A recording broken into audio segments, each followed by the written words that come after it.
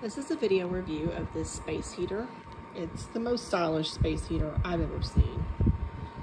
I'm to give you a quick look at the function. You have a dial here that allows you to adjust the temperature.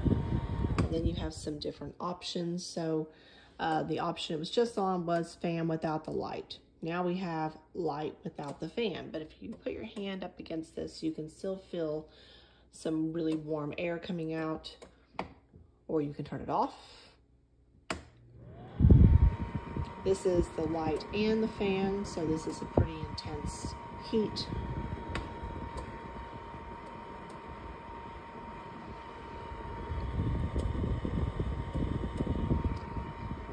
So, so those are some of the options. Um, I'm still kind of playing with it. Um, I love the look of it.